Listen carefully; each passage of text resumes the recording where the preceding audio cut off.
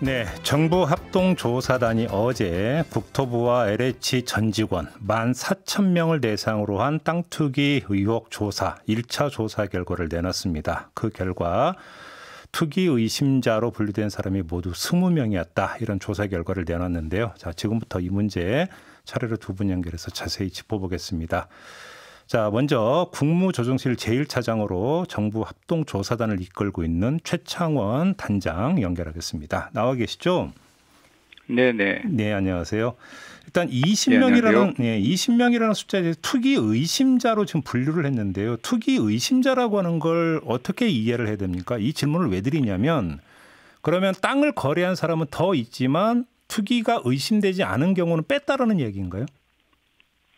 아, 그렇지는 않습니다. 예. 예.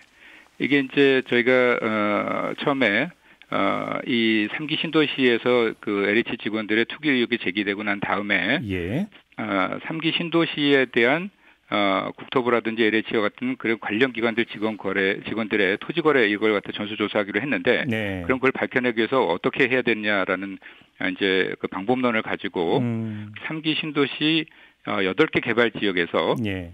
신도시 지구지정 절차 소요 기간을 감안하고 했을 때 예. 입지 발표 전 5년 정도 기간 동안에 해당하는 지역에서 그런 임직원들의 거래 내역이 있었는지를 예. 조사해서 발표기로 해서 네. 그때 조사해서 나온 아, 기록이 전부 다 20명 정도 되는 거고요. 음. 예, 근데 이제 그걸 저희가 볼때 어, 이제 지구지정 공고일 기준으로 봤을 때 한 2년 전부터 매입한 사례가 좀 다수 있었고, 예. 그리고 또 이제 한 명이 이제 여러 필지를 갖다 매입하거나 예. 아니면 또 직원끼리 특정 필지를 함께 매입한 이런 것들을 봤을 때 음. 이런 투기 의도성이 있다고 좀 판단을 해가지고 네. 어제 그걸 갖다 이제 경찰청에 수사 의뢰를 하게 된 것입니다. 단장님 그럼 다시 한번 확인 질문을 드릴게요. 그럼 이 스무 명이라는 사람들은 해당 지역 해당 기간 안에서 토지 거래가 이루어졌던 모든 전수가 되는 겁니까? 모든 숫자입니까? 전수는 사실은 25명이었었는데 그럼 다섯 명을 왜 어, 빼신 25, 거예요? 예. 아, 그거는 이제 그 어, 선대로부터 상속받은 게 이제 두 분. 그러니까 그 기간 중에서 거래가 있거나 음, 이런 것이 음, 아니고 네, 네, 네. 예, 그리고 또 2010년에 예. 아, 이전에 토지 구입한 그런 분이 세 분 있어가지고 5년 전에 그거는 이런 개발과고 예. 네, 네 개발과는 지금 이미 10년 이전에 이제 그 된 거죠. 예. 그래서 이제 그런 분들이 이제 아, 그 이전에 했다가 뭐 아, 매매를 해서 파신 분들 음. 이런 다섯 명은 투기를 보기 어렵기 때문에 네. 그분들은 이제 제가 빼고 아, 말씀을 드린 겁니다. 뺐다고 제가 어저께 발표, 를한 겁니다. 알겠습니다. 그다음에 또 하나 좀 확인할 게 국토부와 LH 직원 144명이 신도시 근처에 아파트를 샀다라는 그 이 조사 결과도 있는데 이건 어떻게 해석을 하신 겁니까? 예, 이제 그 부분은 어 저희가 어그 개발 지역 내에 예. 에, 모든 거래 부동산 거래 이걸 가지고 이제 조사를 지금 저희가 했습니다. 예. 어 그렇게 조사를 하다 보니까는 어 주택 에 대한 거래 부분도 이게 음. 부동산 시스템에서 거래 시스템에서 그게 나오기 때문에 네. 그게 나온 걸 보니까는 어, LH가 119명, 국토부 직원 어, 25명의 주택 거래가 확인이 됐습니다. 예, 예. 근데 이제 어, 문제는 어, 저희가 그런 거래 내역을 갖다 좀 그 충분히 보기 위해서 음. 어, 조사 지역을 음. 지구 외의 범위도 조금 이렇게 넓혀서 저기 충분히 조사를 했습니다. 예. 그러다 보니까는 이분들의 어, 어, 거래 내역이 나온 데가 아, 대부분 고양시 행신동이라든지 음흠. 남양주시 다산 신도시 등 이제 기존 시가 지내에 있는 아파트들이었습니다. 예. 그래서 이제 이것만 가지고는 어, 특히 여부 판단하기가 좀 어렵기 때문에 그래서 수사 참고 자료로 활용하도록 경찰에 이렇게 제공을 할 예정입니다. 근데 그 단장님 무슨 말씀인지는 알겠는데요. 그럼에도 불구하고 네네. 이 사람들이 그 행신이나 그 다산 신도시 아파트를 구입한 시점에 따라서는 이게 네네. 투기성 소지가 있다고도 볼 수 있는 여지가 있는 거 아니겠습니까?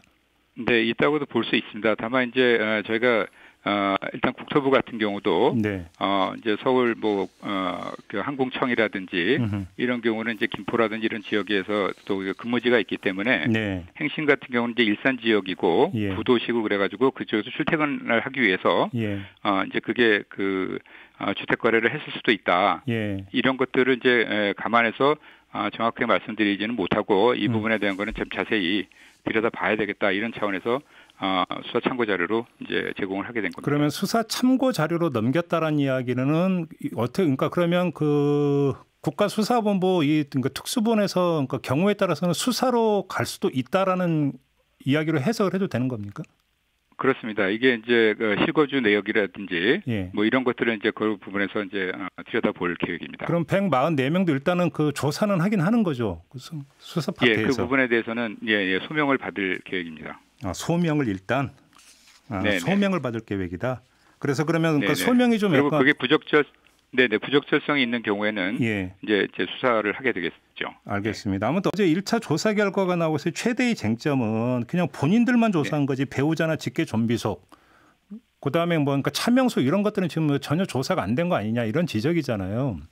네네. 근데 좀 일단 먼저 확인이 필요한 게 배우자나 직계 좀비 속에 대한 조사는 합동 조사단에서 계속 하는 겁니까 아니면 특별 수사본부로 넘기는 겁니까? 예, 어, 어저께 발표할 때 예. 특별수사본부에서 하, 자 이렇게 예. 이제 하기로 하겠다라고 해서 발표를 했습니다. 그 예. 이유는 이제 아, 국토부하고 LH라든지 뭐 경기 인천 지역에 어 이제 공직자 공공기관의 임직원들의 아, 숫자만 하더라도 한 2만 수천 명 수준에 달합니다. 예. 근데 이제 이분들의 배우자하고 직계 좀비석을 모두 합하면 음. 어 7만 명에서 10만 명을 초과하게 됩니다. 그래서 예. 이제 예. 이분들한테 일일이 그 개인정보 동의서를 받는데도 상당한 시간이 소요되고 음. 또 이제 적지 않은 그 마찰도 예상이 됩니다. 그리고 네, 또 이제 네. 형제 자매라든지 이렇게 포함시키기가 어려운 그런 현실적 제약도 있고 음. 그리고 또 이제 지적 많이 지적하시는 것처럼 차명거래 등은 조사에 한계가 있는 거 아니냐 예. 이런 점도 있어서 그래서 향후 이제 특별수사본부에서 의심 거래 등을 이렇게 추적하는 방안 예. 방식 이런 형태로 해서 수사하는 것이 효율성이라든지 뭐 실효성 측면에서 더 효과가 있겠다. 이래서 저희가 이제 수사 본부에서 음. 어, 하는 아, 수사를 하는 방법으로 그렇게 이제 진행을 하기로 아니 그러면 좀 약간 교통 정리가 필요한데 조금 전에 들어온 속보를 보면은요 홍남기 경제부총리가 조금 전에 뭐라고 이야기를 했냐면 가족과 차명 투기 의혹에 대한 합동 조사는 계속된다라고 발언을 했다고 하거든요. 합동 조사라고 되어 있는데 아. 이건 어떻게 이해를 해야 되는 겁니까 그러면? 아 저희가 그래서 어 에, 저희 그 아마 뭔가 조금 그 전달 과정에서 어, 착오했을지 모르겠습니다만은 예. 어저께 총리께서 이제 발표하실 때는 어, 명확하게 예. 어, 지금 남은 이제 2차 저희가 조사를 하는 것은 예. 경기 인천 지역의 공무원하고 음. 그 해당 지역의 개발 관련된 공공기관들 예. 임직원만을 우선적으로 조사를 하고 예. 그분들의 배우자하고 직계 좀비석에 대해서는 예. 어, 특별수사본부에서 의심 거래 등을 바탕으로 한 수사를 통해서 음. 어, 부적절한 부동산 거래가 있었는지를 확인할 음. 그런 계획입니다. 지금 이제 알겠습니다. 이제 그 다음에 이러면 네. 이게 이제 수사 영역인지 조사 영역인지는 좀 불분명한데 아무튼 그냥 몰아서 한번 좀 정가 그 질문을 좀 드려볼게요. 근데 아이 네. 질문 드리기 전에 하나 확인할 게 있는데 이게 그 이전 직원 대상으로 조사하기 전 단계에서 직원들로부터 그, 그 개인정보 이용 동의를 받는 절차가 있지 않았습니까? 이때 네네. 이제 그 동의를 하지 않은 그 직원들이 열 몇 명 있었는데 이들은 끝까지 동의를 안 했던 겁니까? 어, 아, 이게 이제 에, 조금 어, 동의를 늦게 해주신 분들이 있습니다. 다만 저희가 발표하는 시점에서는 모두 다 동의를 해주셨고요. 네. 에, 저희가 이제 1차 조사가 이제 어, 기본적인 그런 조사가 10일 날 예. 어느 정도 이제 마무리를 했는데 예. 10일 이후에 동의서를 제출하신 분이 26분이 계십니다. 어. 전체 조사 대상 14,348명이었는데 예. 그중에 26분이 10일 이후에 동의서를 제출해 주셨기 때문에 예. 그 부분에 대해서는 제가 저희가 지금 아, 다시 조사 중에 있고 그럼 26명은 그 어제 결과가 나오면 어제 발표에서는 빠진 거네 결국은 그러면 빠졌습니다. 그래서 예. 오늘 중에라도 그 조사 결과를 갖다가 아, 나오면 음. 즉시 그 결과를 발표할 계획으로 있습니다. 그럼 26명에 대한 추가 조사가 있으면 이제 누락된 사람은 한 명도 없는 걸로 이해를 해도 되는 겁니까?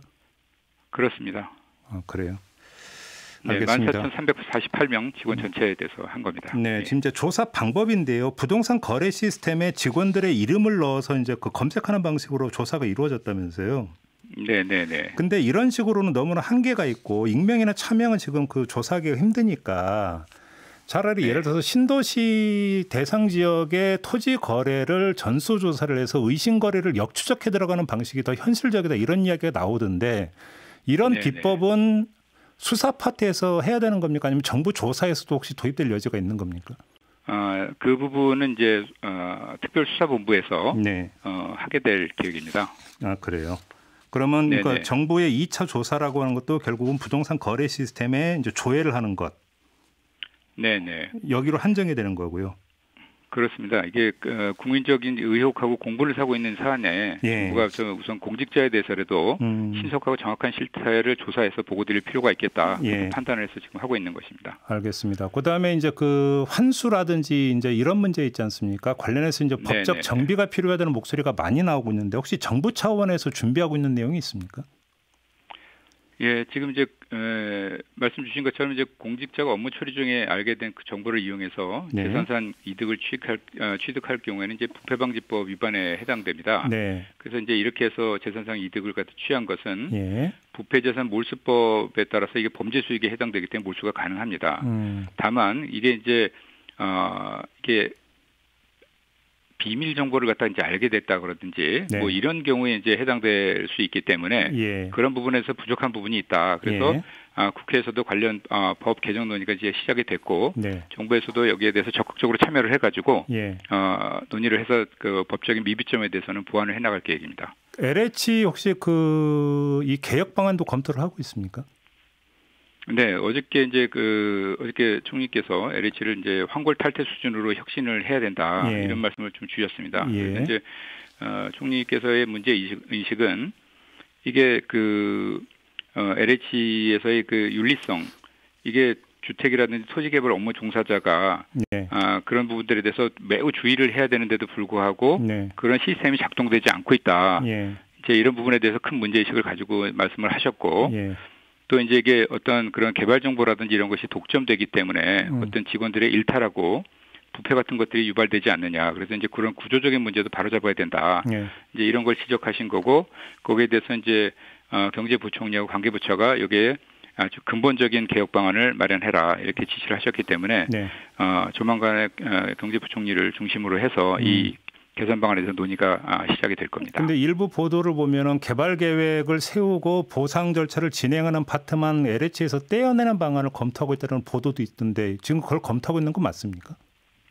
아, 여러 가지 방안이 있을 수 있을 것 같습니다. 그래서 예. 지금은 어떤 방안이 맞다 이렇게 음. 어, 말씀드리기는 좀 어렵고 네. 어, 다양한 방안을 놓고서 검토가 될 것입니다. 알겠습니다. 그 투기 의심자로 분류했던 20명 전원 역시 LH 직원들입니까? 네, 그렇습니다. 전부가 다 LH입니까?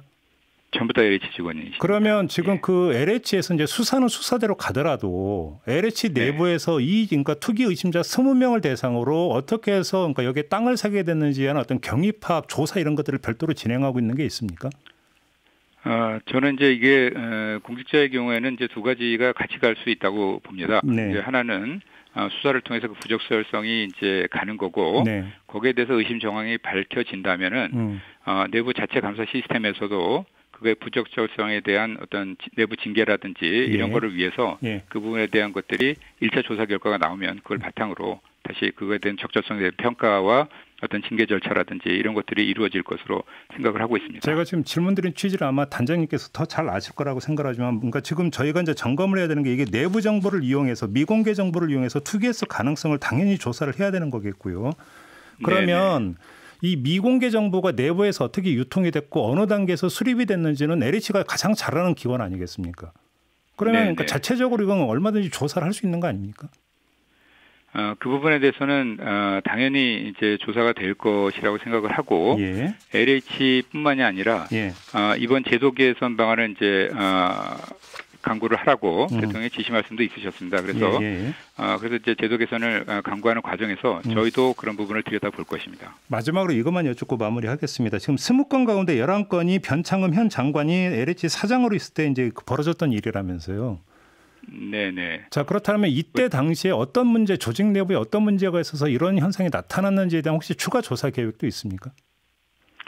예, 이제 그 부분도 당연히 이제 조사가 될 것인데요. 예. 이제 그게 어, 우리 변창흠 장관님이 재직이 19년도 어, 4월부터 있으셨습니다 거기서. 예. 근데 이제 그 기간 어, 어, 주변에 어, 이런 그 신도시 개발 계획이라든지 이런 것들이 이제 발표되는 시점이 거기에 있다 보니까 네. 그때 이제 그런 그 거래들이 그 있지 않았을까 음. 이렇게 지금 추적을 하고 있고 추정을 하고 있고 네. 그 부분에 대해서는 이제 어, 저희가 일차적으로 거래 내역에 대한 것을 어, 밝혀냈기 때문에 네. 그거를 가지고 그것이 어, 그 당시에 에, 왜 어떻게 LH의 관리 시스템, 통제 시스템이 제대로 작동되지 않았는지 음흠. 이런 것들을 추가적으로 조사를 할 계획입니다. 알겠습니다. 자 말씀 여기까지 들을게요. 고맙습니다, 단장님. 예, 예, 감사합니다. 네, 지금까지 최창원 정부 합동 조사단장이었고요.